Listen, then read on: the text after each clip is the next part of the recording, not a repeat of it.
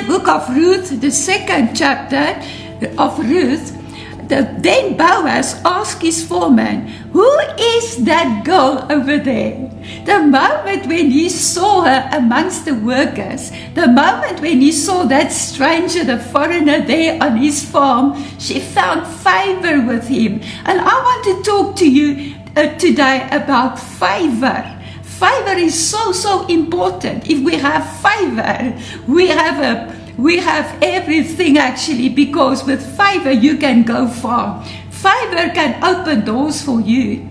Yeah, um, and what is fiber? Fiber means acceptance. And so easily when we, we step into a room, when we step into um, in, um, in the, in, in a, into a crowd of people or uh, into a new place that we've never been before, we know that we know we are highly favored here or we are not really very famous in this place. You can feel it in your spirit. So favor means acceptance and immediately immediately you can feel the acceptance.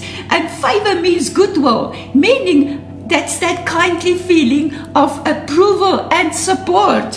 What an amazing feeling when you know that you know that you have favor here and that that kindly feeling and approval and support is present. A preferential treatment. A favor opens doors for us. Favor opens doors you are not supposed to walk through. And let me tell you this morning, if God opens the doors, the door for you, nobody can close it because He has decided long ago what He's going to do in your life. And you have favor with the King this morning. It's because you found favor that you can walk through a door that you're not supposed to walk through. You know, a few years ago, I studied the book Song of Songs. And last night I saw a note in my Bible next to Song of Songs 1 verse 6. Um, and I wrote in my in, in my writing, I wrote this, she felt the full power of divine grace upon her, and the imperfections appeared to be destroyed. Favor is not only an open door. The moment when you feel the acceptance and the kind of feeling of approval and support, your imperfections disappear. You're not aware of your weaknesses anymore. The kind of feeling of acceptance and support change you into a person with boldness and authority. The moment when you feel acceptance, the moment when you feel that that that love, you know, then you you you're another person. You don't you're not aware of your weaknesses anymore. But when the Moabite women met this healthy and wealthy, influential man in Bethlehem, she knew that she had favor with him. Because I've just said, you feel that that feeling of kindness. You get you you're aware of that feeling of acceptance no matter who you are, no matter where you came from, no matter what you have done before, no matter what your past must be this morning. No, it is because you have favor that you will forget about it. It will give you authority and boldness. It will make you feel that you can come to the front now because you are accepted. And when the Moabite woman met this wealthy man, she knew she had favor with him. In the book of in the second chapter of the book of Ruth, when Boaz arrived on the farm and he asked, "Who is that that girl over over there?" He had immediately, immediately, he found acceptance for this woman on the inside of him. And he had favor. He, he, he had favor. He had a feeling of kindness towards that stranger, that woman. And verse 10 said, she realized that she found favor with Boaz when she said, why are you being so kind to me, even though I am only a foreigner? She picked it up. She discerned it. In verse 13, Ruth said, You have comforted me by speaking so kindly to me, even though I am not as worthy as your workers. You see, favor makes a difference. favor gives you preferential treatment, no matter who you are and no matter from where you came from. We are all carriers of favor this morning, my friend. We all have the favor of God in our lives this morning. I'm talking not about the physical favor. Yes, it is important. When you step, step into the into the courtroom, you will have favor. When you step into um, your boss's office, you will experience, but you have favor today. The reason why I called you in is to, to uplift you, to upgrade you, to compliment you. You know that you have favor, but the most in favor that we need this morning is favor with God, favor with the King. We need that. We are desperate for favor this morning. I always pray, Lord, Lord, I need your favor. I need your love, your grace, and your mercy. What is favor? Favor is grace. And what is grace? Grace is favor. Grace is, uh, it doesn't matter whether you deserve it or not. It doesn't matter whether, whether you deserve this favor. It is unmerited favor that you have when, when grace is upon you, when favor is upon you, you must know sometimes it's really unmerited favor. You don't deserve it. You don't deserve the favor of the Lord. You don't deserve it because you're a sinner. But His favorable eye is upon you this morning. She knew that she had favor with Boaz. She knew it. You know, and I want to talk to you about favor and about only you can make it happen. You see, to reach fiber, to, to activate the fiber that you picked up, the, to, and you have discerned it, to activate it, you must come closer. Don't run away now that you will not receive the, the or see the manifested favor that you've just experienced. Don't run away now. Now you must come closer. Now you must come closer to the person so that you can connect with him. So you see what favor actually is. It is preparation. And with your preparations comes the moment. And that with the moment comes the favor, the manifested favor in your life that you've been waiting for so long. Now this woman, she listened to the voice of her, of her mother-in-law. And her mother-in-law said, I picked up that you have favor. That's my own words now. I picked up, a sense that you have favor with this man. Now listen to me, what I'm telling you. Listen carefully and just do what I'm telling you to do. Go and prepare yourself tonight. And what she had to do, first of all, she had to wash herself. You see, my friend, you need, if you need the favor of God, if you want to activate the favor of God in your life, you have to start washing you with the water of your word. Because the water of the word will prepare you for the next step. The water of the word will cleanse you. The water of the word will forgive you for whatever you have done. The water of the word will make you clean, clean, whiter than snow. His blood washes us whiter than snow. So use the water of the word to make you bold and strong. Because you know what? It was not easy for this woman Ruth or this young girl as Boaz said. Um, but she was a woman. She was a widow. And um, it, it cost her a price to go and get closer to Boaz. You see, that's why she had to prepare her. She prepared.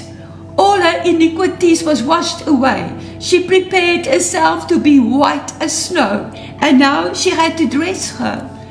Dress, put on that new cloak this morning. Took on that, uh, put on that new cloak of boldness. Put on that new cloak of humanity. Put on that new cloak this morning of righteousness. And then she had to use perfume. Perfume? Yes. Use the sweet rose of Sharon. You can use Jesus. The more you speak of Jesus, the more you study the Word, the more you get closer to Him, the more you spend time with Him, you become you will become like him. You will smell like him. You will speak like him. You will act like him. You will walk and talk like him. And that is my Jesus. So yes, you need to spend some time um, in your loneliness, in your inner in a room, in your closet. You have to spend some time so that you can see the manifested favor of God in your life. And she she she was so obedient to the voice of her of her mother-in-law. And as she was so obedient, we have to be obedient to the voice of the Holy Spirit talking to us this morning. Put on your righteousness, put on the perfume of God, and my friend, start washing yourself so that you can be, become clean. Ask forgiveness for your sin. Repent of the things that you have done because you want the favor of God in your life. And the next step that she had to do, she, she must, uh, in the night when it was dark, she went closer to him. She went so close on the threshing floor. She watched him. She checked him where he was sleeping. And she slipped into that place where he was sleeping. I don't know if it was a tent or what it was. And at the feet, she laid down. Listen, the next step is get closer to Jesus. Lay down at his feet. And the moment when you were aware of her that there was a stranger or somebody or someone else in this room, he experienced it was Ruth. And he said to her, and she said to him, Cover me with a corner. Cover me with a corner of your mantle, Jesus. Cover me with a corner of your robe this morning. Cover me this morning. I want to stay at your feet.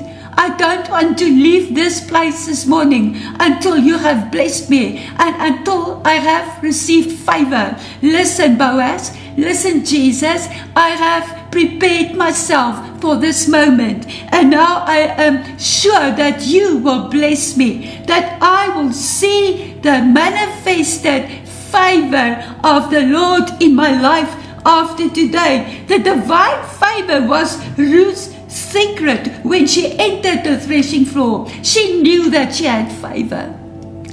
It was not necessary for her to fear because she knew she had favor with this man. And this was her secret, a divine secret, a divine secret that she already the first time when he saw her, that day when he entered um, uh, the farm and he looked down amongst the workers and he saw that woman, she knew that she received favor. This was his secret. And this morning you can go to the feet of Jesus. This morning you can go back to the threshing floor. You can bow down low at his feet. Just lay down there because you have favor with him. You, he already favored you when he saw you the first day. So Boaz noticed that she was there and she replied, Spread the corner of your covering over me, for you are my family redeemer. Lord Jesus, you are my redeemer.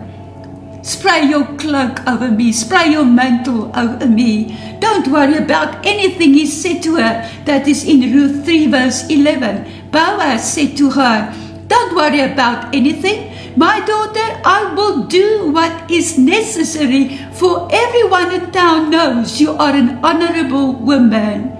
Because of the obedience of the voice of a mother in law, because therefore Ruth knew that she knew that she had favor with Boaz. She followed the necessary steps by preparing herself to lay down at his feet.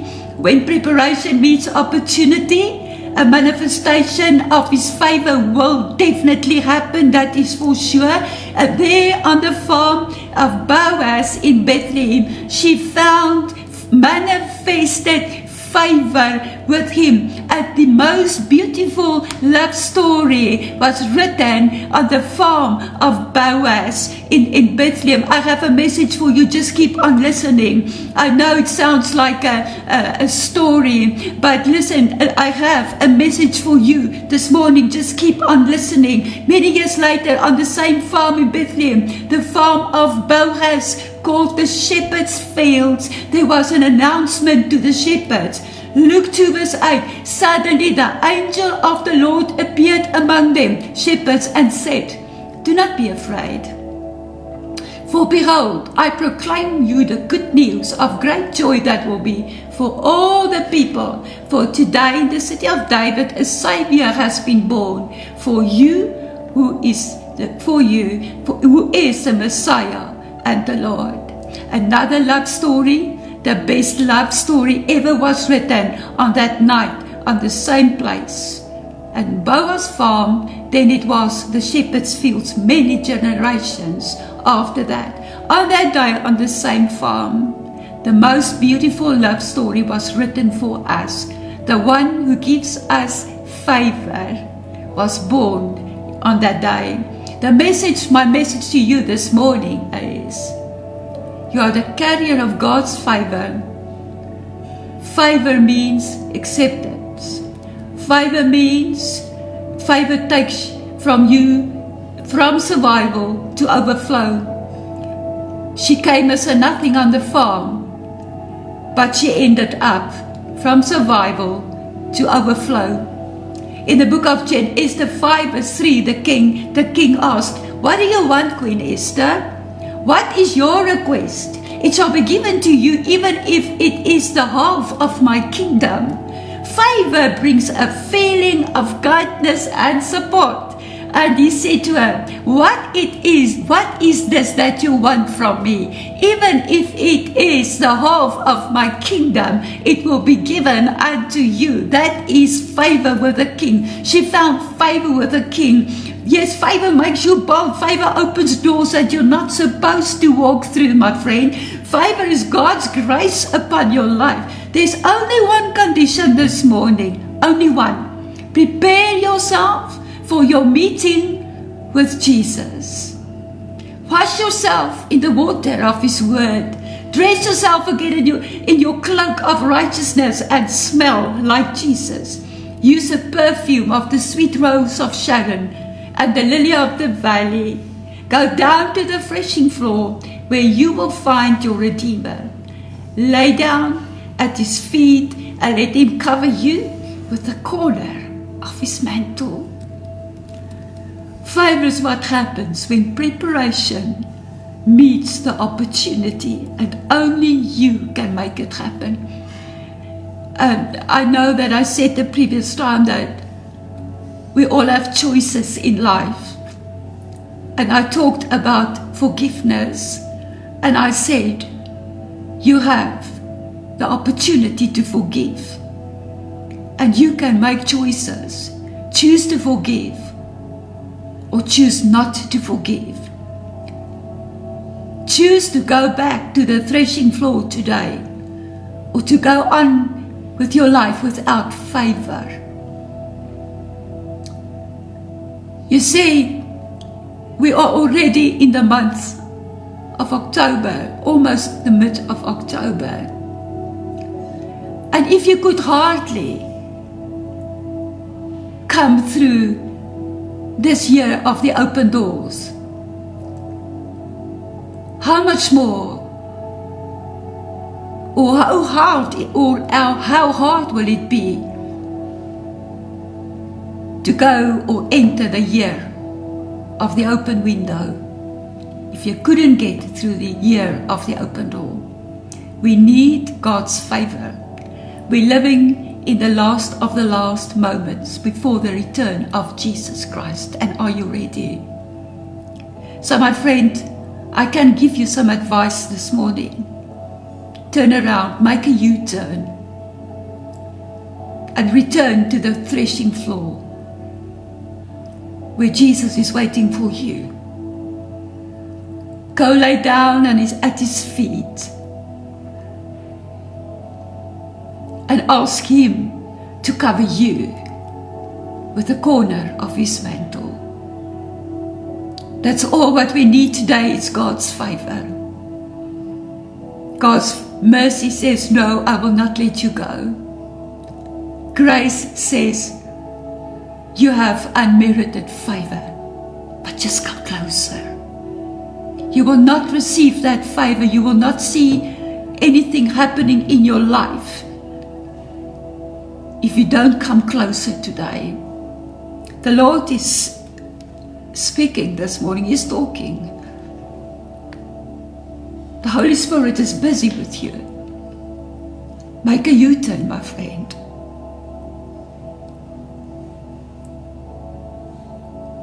Favor says, Don't worry about anything, my daughter or my son. I will do what is necessary for you. Isn't that beautiful? Can I repeat it? Favor says, Don't worry about anything, my son or my daughter. I will do what is necessary. And what is grace? The meaning of grace is unmerited favor. You don't deserve it, but you have it. And only you can activate favor by laying down at your Redeemer's feet. Favor, favor will lead you into abundance. Favor will lead you into a new life. Let's listen and be faithful to the voice of the Holy Spirit this morning. God is present in this room, and I know where you are, He is present. May you have a lovely, a blessed, and an awesome week. Until we meet again. Amen.